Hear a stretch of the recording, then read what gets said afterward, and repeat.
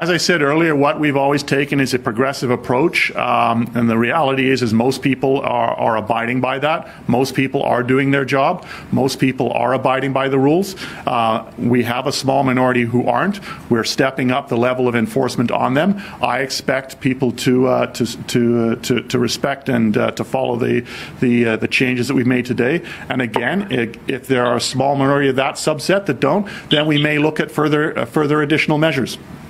Follow up, Mary?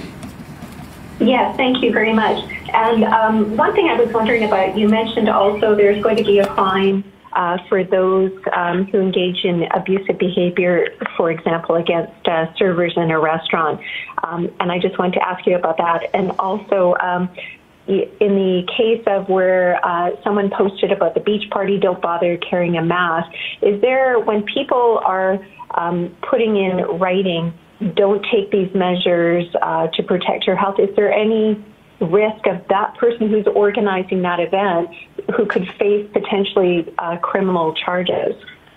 Um, if you're uh, ignorant enough and stupid enough uh, to encourage people to attend an event and not to follow uh, provincial health officer orders, uh, then you're setting yourself up for a fine. And of course, depending on, on what you do and how you do it, there may well be uh, uh, potential of, of criminal charges that could follow from something like that.